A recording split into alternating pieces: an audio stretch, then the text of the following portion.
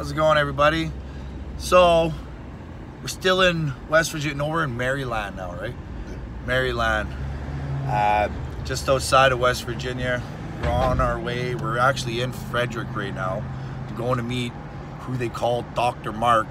This is the man that's been hooking everybody up and giving them all the stem cell stuff. I've been suffering with quite a few aches, a little bit on my brachialis with my back pressure. My elbow's been killing me. I haven't been able to drive inside like I'd like to, to be able to finish certain people off sometimes. So, I'm gonna fucking try it out. So here we are, we're in Frederick. I'm on my way. I'm gonna go see Dr. Mark with Vitacell Biologics and we'll see if this man can hook me up and see how he makes a wild horse. Hey, how's it going, everybody? So we're here with Mark, Dr. Mark, the man I was telling you guys about on the drive over with uh, Vitacell Biologics. He's the one that is to hook me up today. So I got a few questions for you, Mark. Okay. I want to dumb it down as simply as possible. Um, I've very, got a very good memory, but it's short. Okay. So you're going to have to remind me a few little things on this. Uh, so where are we getting these stem cells from? It's a great question. So, because there's, there's a bunch of different kinds of them out there. I keep hearing. So, yep. So first, congratulations on your Thank win. You. Thank you. You rocked. You kicked hey, butt. This motherfucker's going back to Turkey. That's right. That's right. That's right. But first, we look forward I'm gonna to get myself all stem celled rebuilt, up. Rebuilt up. Rebuild this shit, right? So, so, it's it's a great question, and we get asked it a lot. Um, it's a very specific uh, source. Um, it's literally uh, a mother who's healthy mm-hmm. um, who's having a planned C-section delivery, um, donates her umbilical cord. Nice. Um, so mom is tested, and the FDA has heavy, heavy requirements on whether a cord is good or not good. So uh, mom is healthy, umbilical cord is healthy, baby is delivered healthy, and uh, inside that umbilical cord are literally millions and millions of live stem cells, and that's that's where they come from. And, and the mm. beautiful part is they have the ability to become literally any cell in your body. So if you ever remember back in the day seeing uh, an egg and a sperm, when they connect to make a baby, all of a sudden one cell goes to two, to four, to 8 mm-hmm. They do the same thing in your body. Oh, so they're going to okay, recognize yeah, yeah. what's wrong in your body and become those cells and then assist your body in actually repairing and regenerating those cells. Hmm fucking. Actually, actually, yeah. it's a gift from God. To be yeah, honest with yeah. you, I mean. And there's there's other types of stem cells you can get out there too, right? Correct. So, Correct. There are different types, but honestly, um, the ones at, at our company, Vitacell Biologics, we use only umbilical cord. They are the absolute best thing that you could put in your body. Yeah. Um, I often warn people about uh, going out of country. Um, there are some fabulous clinics in other countries, but there is no FDA uh, regulating the source. Mm. So that could get a little scary. Yeah, I would you imagine. Know? You don't here, know where you're getting it from. Here right? we know exactly where they come from. Actually, there's a tracker ID on them, and that ID can be tracked all the way back to the mother donor at any given moment. Yeah. So it's pretty cool. Nice. So what kind of tests do they do on this mother to make sure that she's healthy? Like oh, any yeah. DNA tests or anything like yep. that to make sure that it's all going to be. Right. Yeah, they go into her health history. Um, they test for infectious diseases, sterility. Um, no one can be vaccinated. We do not accept vaccinated uh, umbilical cords. Um, Must be getting harder to find, eh? you know, uh, I tell you what, it's a it's a really strict law, and it's a good one. Yeah. Know, because uh, all the uh, research that is now surfacing on vaccination. Well, we still don't even know half of the stuff that's we don't. And that's a whole nother yeah, that's a that's that's for a different podcast. We need yeah. to go to DuckDuckGo yeah. for that one, right? Exactly, exactly. but the good thing is, is where you're getting them is a fabulous source. And what a lot of people don't know is, um, not every umbilical cord is up to par, especially with our company. Um, when we get, let's say, ten umbilical cords, we only really accept one or two of those ten. Mm. You know, because they have to literally be not only what the FDA requires, but our requirements are actually higher. So you are really getting the very best stem cells you could ever get. Awesome, awesome. So I'm hearing hearing some things around the industry. Just been doing a little bit of research myself on stem cells and like I keep hearing that you guys are a step above everybody else. Not so much like uh, as as for effective, but actually it is the effectiveness on how well it works and part of the reason why it works so well is because of the preserve or the way that you guys preserve your stem cells without artificially preserving them. It's more a natural way of preserving them. So when you guys do dethaw them, because everything does come frozen in order to be preserved, uh, and when you guys do dethaw them, you have more alive. Can you explain a little more to me about that? Yeah, um, the, the stem cells are stored in liquid nitrogen, um, which is close to negative 300 degrees. So most people think when it's frozen, it's frozen, but biologically the cells are very much alive. Um, I can't give you all the secrets of VitaCell Biologics. Well, know. of course, It's of almost course. like Willy Wonka's giving away all the secret recipes to Yeah, the chocolate yeah, yeah. factory. But I will tell you that the way we process the uh, the cords is it, we actually exceed the requirements by the FDA and also the American Tissue Bank Association. So when we have our lab inspected, which is an FDA regulated lab, um, when they came and inspected us, they kind of walked in our lab and said, you know, you guys, this is really overkill for what Mhm. you're doing. And we're like, it's not overkill. This is why our, our stem cells are literally the best. And when we thaw them out, the amount that are viable, the amount that are alive, are way more than our competitive companies Yeah. out there. So what are these some of these other competitors putting into the stem cells that's that's obviously killing them? And if it's killing them, like what kind of preservative what would that do to your body if it's actually injected into you as well? Sure, it's a good question. Um, a lot of them are using what's called a cryopreservative, which Mhm. is kind of the same thing as when you go food shopping and you see food on a shelf. Um, they can stay on the shelf sometimes for years because they put preservatives in them. Which ain't natural. It's not natural, and we all know that's going to Yeah. do something to you. Um, stem cells are no different. I would say most of the companies out there producing stem cells have a cryopreservative in them for shelf life. Uh, the problem is the cryopreservative uh, it kills some of the stem cells. So when we thaw out our stem cells, let's say 99% of them are still viable and alive. Our closest competitors are maybe 50%. Yeah. And then some people That's a pretty big number. eh? It's a big number. It's a real big That's number. a huge number. But the other thing that's Well- even more drastic is some people have a reaction to the preservatives, Mm. and that's a problem. You know, That'd be a so uh, so the fact that we have pure stem cells and exosomes with nothing in them, just Zero side effects because no there is zero. no preserves or nothing Yeah. additives, right? and you brought in a great word, side effects, Yeah. because these things come from the umbilical cord. They're called immunoprivileged cells, and that typically means that your body can't reject them.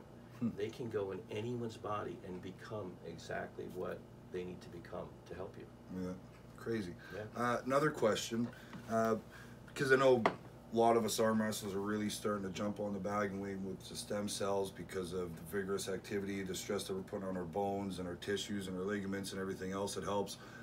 How would this affect somebody that, say, had an old injury for, say, 15, 20 years, it's really starting to bother them, it's getting to the point where they feel they need surgery, but nobody really wants to get themselves cut open. Obviously, if there's Sure. another way we can go about it or go about getting them fixed. So how, how would this stuff help an old injury from somebody that's say aging in their 50s, Sure. 60s, something like that? We're right? higher. You know, uh, aside from treating you guys and a lot of, we treat a ton of world class athletes. We treat the general public. Yeah. You know, and most people we treat are 40 years old up to uh, the oldest person I've treated is 93. Yeah. You know, and it's just people that are regular people. They don't want surgery. They know there's less than a 50% chance that it's going to be successful. So this is a great option for them. There's no downtime. There's no medications. Their body doesn't reject it. And um, you know, we try we try to get it out to as many people as possible.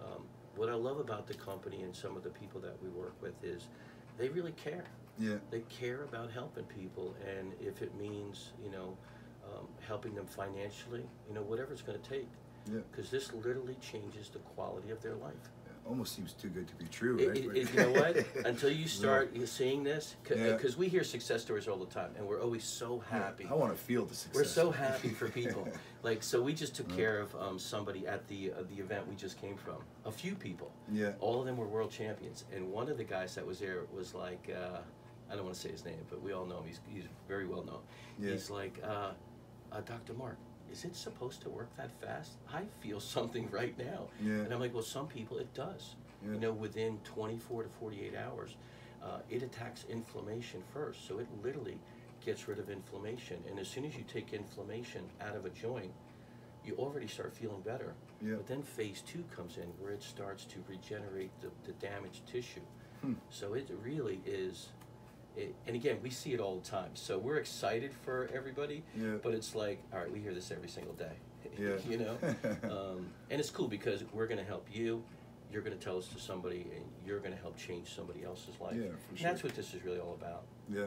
Uh, one more thing. So, so it's able to fix older people that have had injuries for quite a long time. They've been dealing with instead of going through the surgery route. What about someone young, like my daughter? She just she thought she was an ACL tour. She was uh, playing rugby. She ended up uh, slightly tearing her meniscus. Um, there's a possibility in the future that she may need surgery. Right now, she's not going to need surgery, but if it doesn't heal properly, that scar tissue builds up in that meniscus tear, and say she ends up twisting the wrong way when she gets older to grab her dog or a kid running by or picking something up as it goes to fall, and she twists the wrong way and that meniscus ends up fully rupturing. She needs a full recovery. How much better would this help for a young person? How young can they be for you to be able to inject this into them? You know, you can number one, you cannot get enough stem cells in you. Mm-hmm. You know, when we're born, we're born with millions of them. Uh, by the time they're your daughter's age, they're literally drop off the shelf. Yeah. There's not a lot left, and they're they replicate, and they've been used so many times that they start to lose their effectiveness, which is why people in their 20s on up slowly their health changes, That's, and we don't. that's why it. I was able to pull so much more Yeah. when I was 25. And now that I'm 40, I need a couple days That's rest right. in between. That's right. right. we don't recover the way No. we used to. Now the cool thing is your daughter's young. She's going to heal quickly. Mhm. Um, so she's the perfect age to have this done because almost like a tear in your jeans, that tear will slowly get bigger and Yeah. bigger to where it's completely torn. And then she's going to definitely need surgery. If we can get to her now why it's a partial tear, it'll uh, it'll heal the tear, but it'll also prevent her from more serious injuries. That's awesome. Yep. That's awesome. You hear that, Jess? All right. We're gonna help you out too. Well, I don't know. I'm pretty excited about this. I think we should Today's cut the interview. We should get right to the chase, get her done. We'll go up to the lab. You can go ahead, give me my injections, and maybe we'll have a little discussion, see how I feel afterwards. Cool. So awesome. All right, man. Okay, so we've got all my injections done. Uh, I ended up going with my brachialis here, just on the outside. It's been bothering me, and then I did my elbow on the inside Yep. because of my side pressure hasn't been worth a fuck for the last ten years. so we're gonna see what this is gonna do. Uh, it honestly, I was thinking a little bit more pain. I was uh, I was thinking it was gonna pinch a little more. Uh, I didn't really feel much. Ended up freezing just slightly, a little bit, and yeah, it was very, very painless. Um, You did great. for someone that me that just got it done, um, I'm obviously I want to start feeling stronger. I want to start getting back to the gym. I want to start pushing myself now. How long should I wait before I start lifting? Uh, if I do start lifting, should I start off going light? Should I start going heavy? Where should I go from here? Can I just run back to the fucking table like No. Devon does right after Well, and he's, start he's, hitting he's a it? whole different. I think he's from another planet. Yeah, he's not from Uh, here. but no, typically, if you if that was a tear, partial tear, or, or close to a complete tear, I would have you not do anything for at least thirty days. Okay. Um, the fact that um, you're coming off a weekend where you pulled a lot, um, for the next at least week to two weeks, just go light, light, light, light, more reps, uh, get the blood circulating, uh, like that, range of motion, not heavy yet. Because what they're going to do now is they're going to start healing all the micro tears that are in your muscle, which all you guys have a lot of. yeah. So uh, yeah, just take it So, easy for a while. so by healing the micro tears, every time like a guy works out, I just had a big weekend. I've got a bunch of little tears in my muscles, and then you eat all your protein and everything throughout the week, and that slowly builds in. So what will happen to me if if I just start hitting her hard right away before I let the stem cells to heal all the little micro tears I've created over the weekend? Right. Uh, you, you'll just slightly re-tear them. You know, so just like we were speaking, uh, you're, when you have a tear, it'll tear like this, the fibers. The stem cells get in there and they start to form the tears back together like this. So if you hit it too hard too soon, you're just going to keep re-tearing it. The stem cells will put them back together. Yeah. So we don't want that. We want it to heal. All this come complete. It's called scaffolding, where the muscles actually come together again, and they literally have the ability to become stronger than they were before. So it's actually by resting and just going lightweight, just the blood flow, just to get everything mm-hmm. moving, and letting all the micro tears fully heal before you mm-hmm. start ripping the shit out of them again. Yep, and- it's actually gonna help build a better foundation Sure, for the future sure. for when I go to start building Yeah. my shit up again. And this is very hard for not only you, but for all the guys out there that do this, because it's impossible to keep you out of the gym. Right? You know, So but uh, honestly, to get the optimal results, you really need to let this just do its own magic, let it heal, and then uh, you'll know. Mm-hmm. Because you're going to start calling me saying, I feel so great, man. Can I start going heavy? Wait another week. You know, Oh, yeah. so typically those first 30 days are pretty crucial of rest and light, light lifting. Okay. After so I'm, that, I'm still gonna do my table time, but the, regular guys, we're not hitting. We're just gonna be going light You got to through take it easy on the them so of you don't eh? wreck my good work. Yeah, right. so yeah, that's, I don't really know what else to say besides I just got to be patient for the next Yep. couple of weeks to a month, and Yep. before we start going hard, and Yeah. then yeah. And we'll be chatting to you soon. See when we can get my daughter down. I'll look maybe get her good missness done. Yep. And uh, yeah, maybe you can meet the rest of the family and That'd be yeah, great. go from there. Cool, man. Awesome. Right on. Thanks a lot, Mark. You're welcome. So, You're welcome. My pleasure. Vitacell.